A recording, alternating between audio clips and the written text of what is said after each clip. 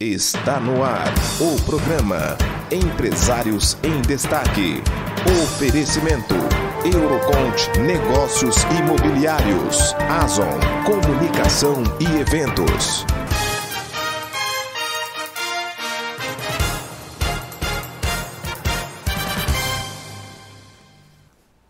Olá, sejam muito bem-vindos aqui ao programa Empresários em Destaque, um programa produzido pelo Grupo Brasil de Comunicação. O programa Empresários em Destaque dessa terça-feira irá conversar sobre os reflexos da arte no ambiente de trabalho. Quem está aqui comigo para conversar debater e aprofundar esse assunto, professor e empresário Valcirley Siqueira, quem desde já quero dar aqui as boas-vindas. Seja muito bem-vindo, professor, ao nosso programa Empresários em Destaque. Muito obrigado, é um prazer estar aqui com você. Imagina, alegria valeu, toda nossa. Valeu. Eu queria começar essa nossa conversa baseando inclusive no título do nosso, da nossa matéria do portal SB Notícias, que estabelecia essa relação da arte no ambiente de trabalho. Aí eu queria saber como a arte pode influenciar nesse contexto. Ótimo, vamos lá então. A arte, de certa forma, ela influencia em todos os contextos que o ser humano está inserido, né? Todos, todos. No ambiente é, de uma empresa, é fundamental que, a, que, que, o, que o gestor tenha isso em mente. Porque desde uma organização mais simples de uma sala de trabalho, né, da cor que coloca naquela parede. Vamos pensar na sala de reunião da empresa, né? Sim. Vamos focar assim nesse ambiente. Depois pode sair até para o jardim, né, da, de uma grande empresa, assim. Sim. Mas a, essa sala de reunião, a forma que estão tá os móveis, as cores da, da parede, os quadros, né? Se tem, que tipo de quadro que tem, que tipo de desenho, né? Então, tudo tem que ser pensado na, na objetividade desse gestor, né? desse empresário. Porque ele tem que criar um ambiente propício para os seus funcionários para que ele produza, para que tenha criatividade, expressividade, né? E não aquele ambiente pesado, aquele ambiente carregado. Então a arte ela é, ela é fundamental é, nesse, nesse pensar assim, nessa forma de, de organizar. É, é, o gestor vai pensar na, na produtividade do, do, da sua equipe, né? na produtividade. Então ele pensa em formas artísticas desse ambiente para que as pessoas sintam-se bem. Professor, é, aproveitando a sua linha de pensamento, é, você defende então a ideia que a arte ela contribui. Porém, quando eu estou num ambiente que não existe a presença artística, e seja lá das mais variadas modalidades, Isso. também ela pode prejudicar em quais aspectos? Exato. Quando um ambiente ele é cor branca, uma mesa que não corresponde a nada, tudo muito de qualquer jeito, muito largado, não é pensado, não é, é com certeza se torna um ambiente mais frio, se torna um ambiente improdutivo. Você não tem assim, por exemplo, você não tem uma planta, não tem nada, nenhum nada, sabe, naquela sala de reunião. Estou focando nisso aí, mas você pode puxar Sim. outros ambientes, tá? Mas fica um ambiente frio, né? A tendência daquele ser humano, daquela, daquela equipe, né, que esse gestor vai gerenciar, a tendência é ser mais fria, menos produtiva, porque não tem nada. Imagine uma sala branca, uma mesa lá que não, uma mesa de vidro, né? Então a, a ideia é que a produtividade abaixe, né? Que ela caia, né? Que ela caia. Aliás, eu quero aproveitar, você que nos acompanha, se quiser, enquanto durar essa transmissão, quiser enviar uma pergunta ou um comentário aqui para o nosso convidado, fique absolutamente à vontade. Nesse, nesse, seguindo nessa linha, eu, eu queria muito é, compreender, professor, uh, no seu ponto de vista, como valores de uma empresa podem ser transmitidos a partir das suas manifestações artísticas diretas ou até mesmo indiretas na, na construção, de repente, é, de uma logomarca, enfim, ó, algo nesse sentido. É, quando esse gestor, esse empreendedor tem essa característica, né? Então ele vai pensar desde a logomarca dele, da sua empresa. Característica de valorizar a arte. Valorizar a arte, isso mesmo. Então ele pensa desde o logo, desde a marca, até os, quem ele vai apoiar artisticamente na sua cidade, ou no seu estado e no seu país. Então esse gestor tem essa preocupação. Então ele joga uma, ele, ele, ele vai trabalhar essa logomarca. Trabalhar a logomarca já é uma, uma forma artística, né? Sim. Porque arte não é só um quadro na parede. Às vezes as pessoas assim acham, não, arte é o que? Um quadro na parede, é uma escultura? Não é, né? Um logo já é uma forma artística. E, e, e, e, completando isso, quem essa empresa vai apoiar? Quais são os grupos de teatro? A Lei Rouanet, né? inclusive. Lei Rouanet, exatamente. Então, assim, qual, qual a exposição de quadro do, do museu da sua cidade essa, essa empresa apoia? Né? Então, é, é, sempre quando tem a, os, os grandes eventos assim, né? Você sempre vai ver embaixo os apoiadores. Sim. Né? Essas empresas que estão apoiando aquele grupo de teatro, a, a música, né? Teatro, música, dança, né? artes visuais, a exposição de desenho, de pintura, é a, Bienal de São Paulo, né? Então a empresa que tem essa preocupação, né? Cultural, que a gente nós já estamos falando de cultura, né? não só de arte sim, simplesmente sim. assim. Mas tem essa preocupação cultural, ela vai procurar esses artistas e vai apoiar. Agora, eu, uma coisa que eu acho interessante é entender como existe ou pode existir a relação entre a produtividade do colaborador quando ele mantém uma relação com a arte. Como é que você consegue estabelecer esse vínculo? Então, como que uma pessoa produz mais ou produz menos referente ao ambiente, né? A partir do momento que esse ambiente é pensado para ele, para esse grupo. Então, tá. o gestor, ó, um gestor ele não tem a, a, ó, vamos pensar assim, um gestor, uma empresa, ele não tem a sala dele, tem. toda organizada, bonita, ele não põe o que ele quer, aquela Exatamente. coisa toda. Diz... Para, na verdade, traduzir as características, é, as, as próprias concepções. Isso, né? Ele tem uma equipe de trabalho. Eu estou ainda na ideia da sala de reunião. Né? Sim. Né? Mas, poxa vida, por que, que a sala dele artisticamente é toda né, organizada, tem aquele quadro, e a sala de reunião é uma parede branca? Né? Então a produtividade é relacionada quando ele pensa para eles, para esse grupo. Né? Então ele pensa, então ele fala, poxa, tal, tal a colaboradora gosta de, de Monet. Né? De repente tem Sim. alguém que gosta de Monet. Ele vai lá e pega um quadro do Monet. Põe lá. Pô, a pessoa vai olhar para nossa, o quadro do Monet aqui, né? Que bacana. Um outro colaborador gosta de, de, de tom de azul. Ele gosta de azul. Ele observa que ele está sempre com roupa azul, né? Então a cor. Ele vai lá e pinta, de repente, uma parede de azul. Você, você entende? Então isso, a arte, ela sempre vai cativar. Ela sempre vai envolver as pessoas. Então a produtividade está relacionado nisso, assim, a pessoa se sente bem, tá entendeu? Porque se você não se sente bem no seu espaço, você não vai produzir. É, você vai produzir aquilo que é para ser produzido. Sim. Sabe? Aquilo que é para ser produzido. Mas você não vai além. Porque está muito ligado ao emocional. Né? Emocional do ser humano, de cada um. Então, é, não adianta você ficar gritando na orelha dos seus colaboradores. Produz, produz, produz, produz se você não dá elementos, você não dá alimento, alimento. Acho que talvez essa seja uma questão. Você dá alimento, você alimentar sua equipe. E alimentar, né, no caso nosso aqui, estamos falando da arte, né? Sim. Então sim. você alimentar através da arte, da cultura. Pô, a empresa dá ingresso para um, uma peça de teatro. Pô, chegar para os colaboradores, ó, vocês têm. Né? E se alimentar a alma deles, sabe? Pô, ganhei dois ingressos, vou lá com a minha esposa assistir Fernanda Montenegro lá. Pô, o cara volta na segunda-feira a mil, cara. O cara compartilhando a, né, a experiência de ter visto e ouvido e aprendido com Fernanda Montenegro. Exatamente. Então, pô, a produtividade dele vai a mil. O, o gestor lá, o, o, o empresário, não vai precisar nem falar nada para ele, cara.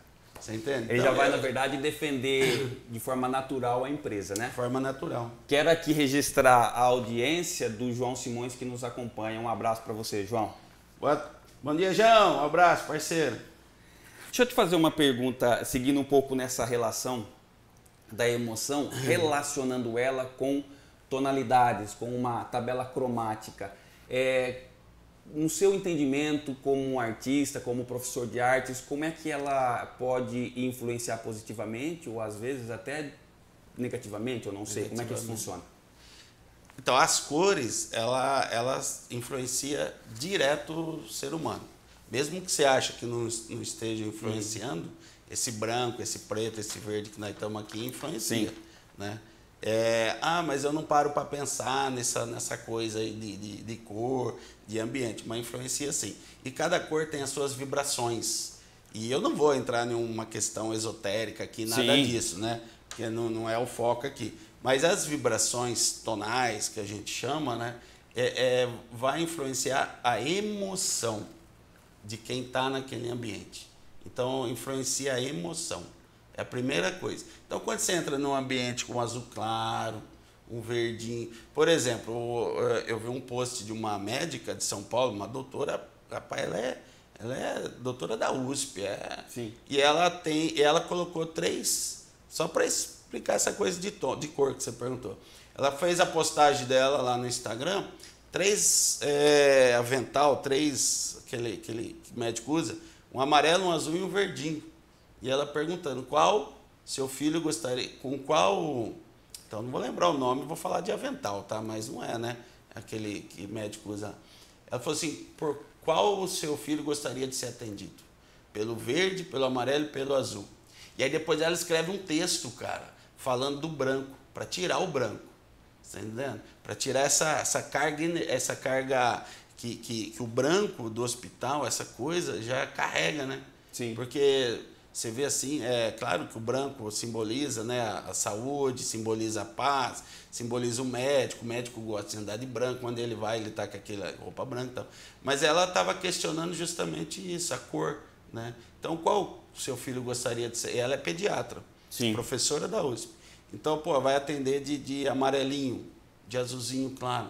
Então, o ambiente, você, você muda. Você quer um ambiente mais, pá, mais garra, mais, sim, mais Bota um azulzão, um azulzão escuro, sabe? Aquele ambiente mais, mais pra galera gritar. Então você joga um azulzão, né? Você quer influenciar na, na alimentação? Vermelho e amarelo, né? Então você influencia o cara comer, né? No entanto que você vê um monte de coisa é vermelho, né? Sim, laranja. Joga, laranja, né? Então você vai jogando essas coisas aí, né?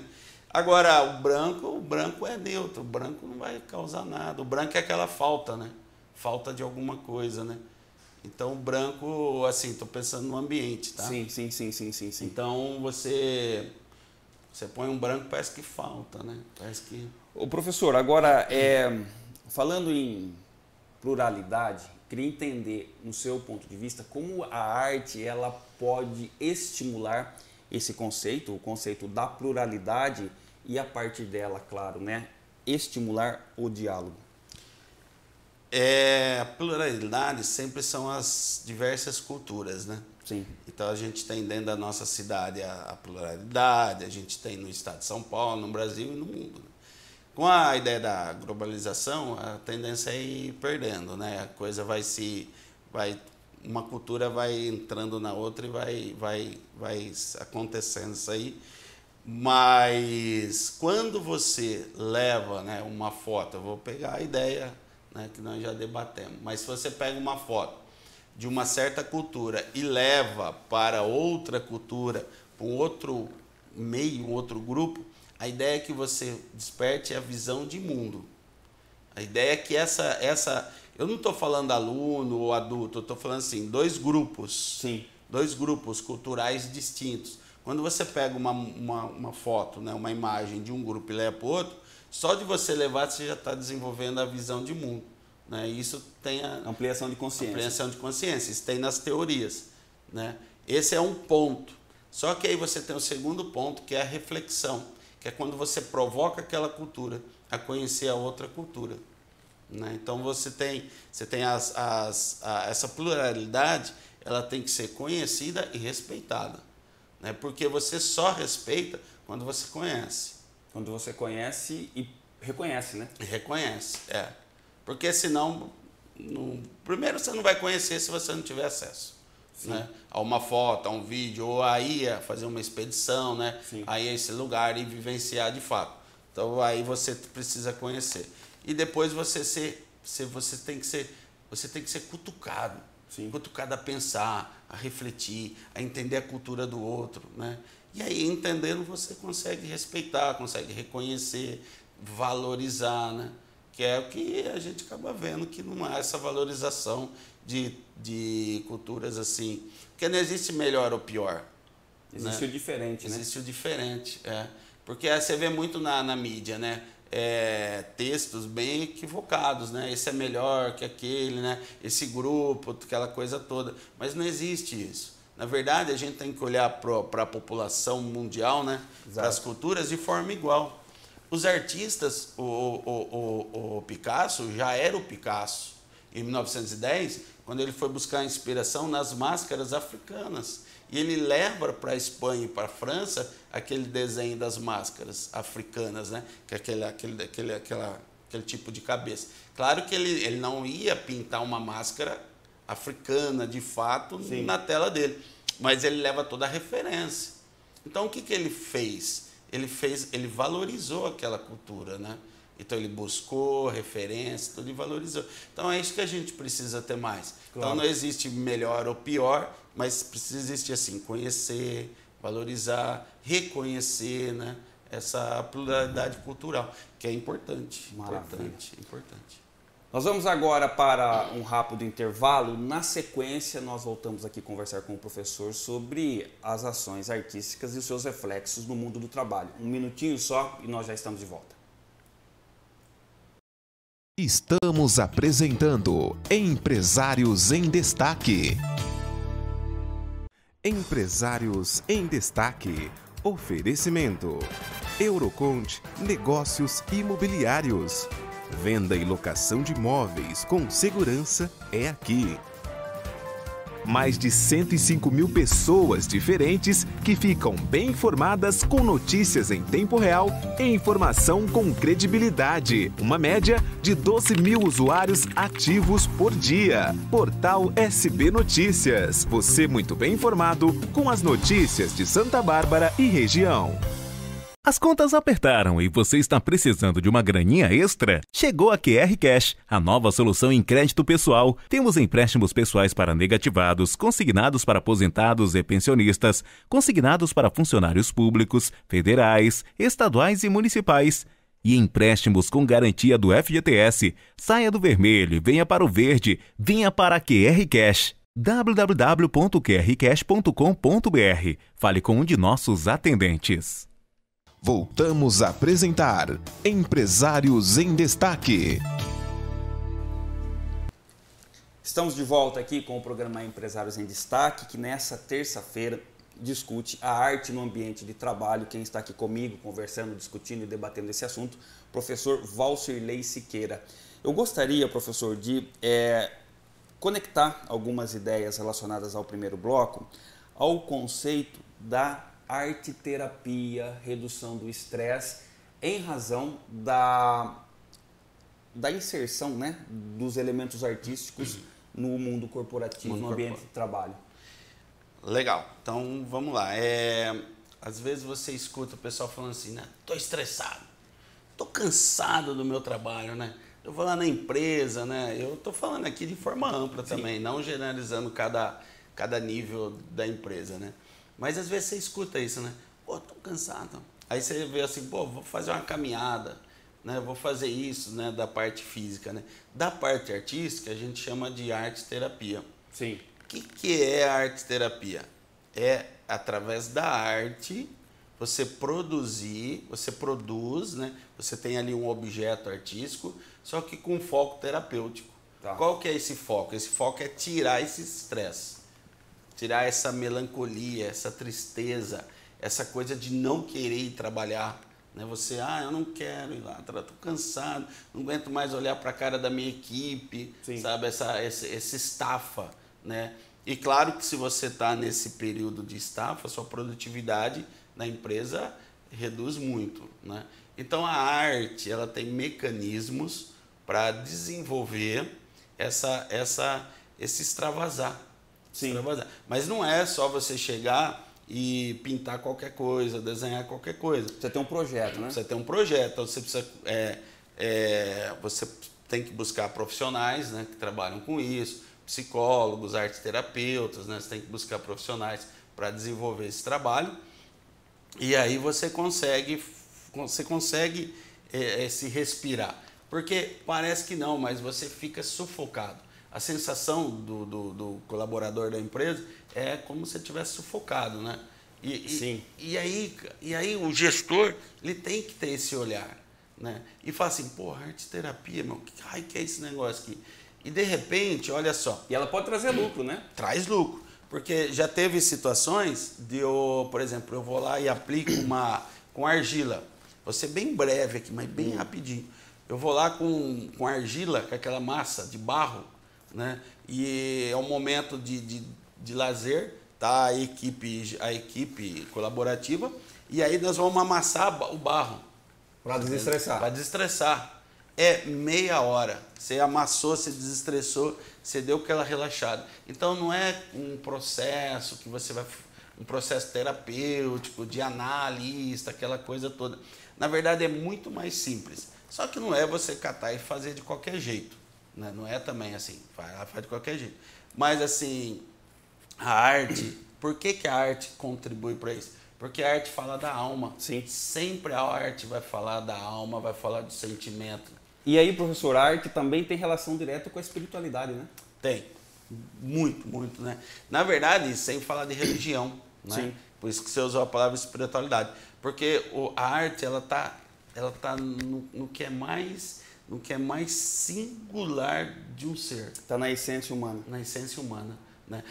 É, é, para para pensar, a gente tem as pinturas rupestres, né? Sim. É a primeira manifestação do homem na Terra, cara. É a primeira, primeiro registro.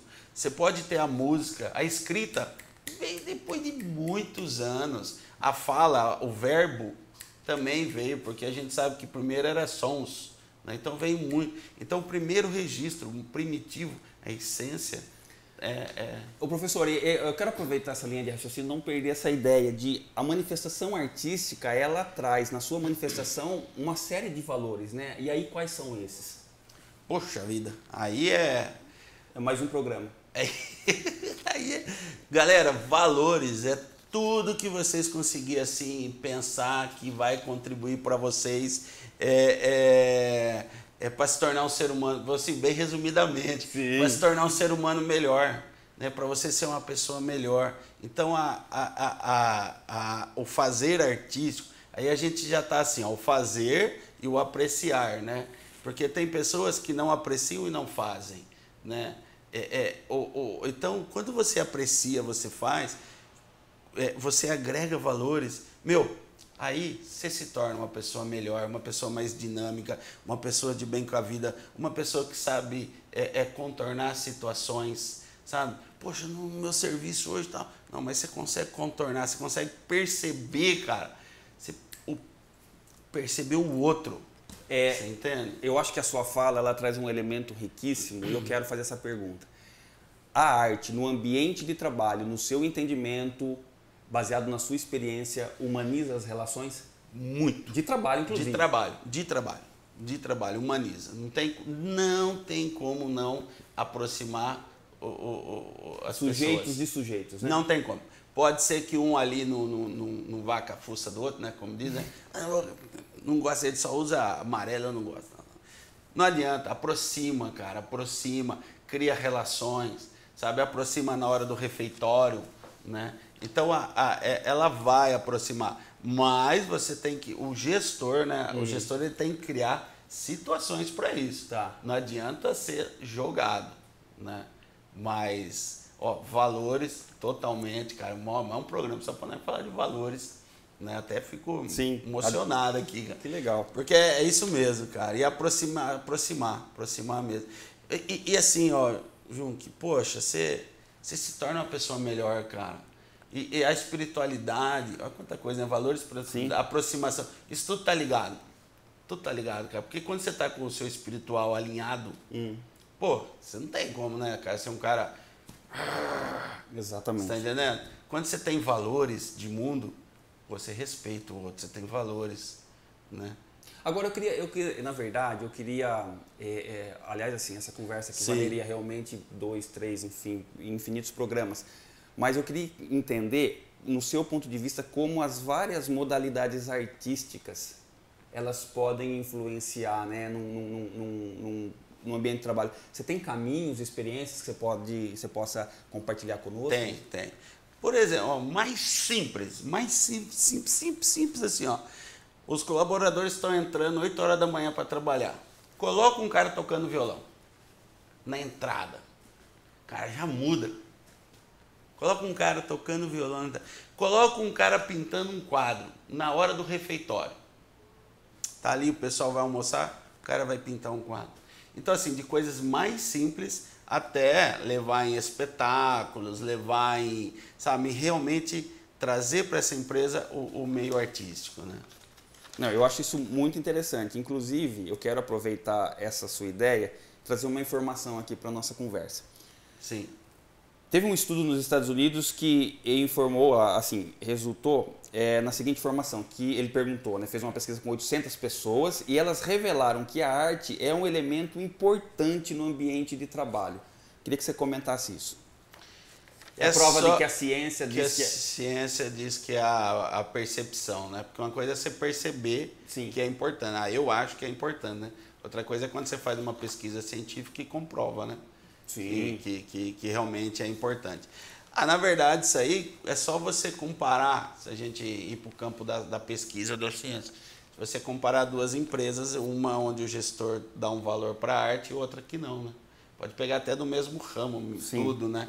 Então, uma onde o gestor pensa a sua empresa, ele contrata um artista, ele contrata um decorador, né? através de leis de incentivo, ele leva seus colaboradores para assistir dança, teatro, música. Né? Então, essa empresa tem essa preocupação. Ah, e a outra empresa que não tem preocupação nenhuma, né? nem de organizar uma sala. Né? Então, essa pesquisa aí, ela, ela, vai, ela vai retratar bem essa, essa, essa postura de. Essa necessidade de colocar a arte no ambiente de trabalho. É, né? De trazer isso. Agora, falando do ambiente de trabalho, a arte e a produtividade, gostaria de muito de perguntar: a arte também serve como uma estratégia mercadológica, professor? Serve, serve. Serve, sabe por quê? Sabe aquela estratégia onde hoje está se usando muito que são os alimentos orgânicos? Né? Hoje fala, ah, vou comprar orgânico. Tem também pessoas que compram quando a. Quando a. a quando a. Olha, essa água foi ver lá, me atrapalha. Quando a, quando, quando a empresa tem esse valor para a arte. Então, quando você vê assim, poxa, a empresa da minha cidade pô, patrocinou um espetáculo de teatro, né? Sim. Poxa, então em vez de eu comprar na outra, eu vou comprar nessa. Não é? Pega, uma, pega um comércio, vamos pegar uma pequena empresa, um comércio ali do centro da nossa cidade. Uma empresa patrocinou o, o, o, o espetáculo. espetáculo, a outra não. Eu falo, não, vou comprar onde patrocinou. Então agrega valores, né? Sim. Uma empresa que se preocupa com a cultura da sua cidade, ela agrega valores. Tá bom? Tá chegando uma pergunta aqui do João Simões, vou pedir para o diretor aumentar um pouquinho. É, João Simões está perguntando: poderia ser considerado uma sessão de arte e terapia, uma sessão de filme na empresa?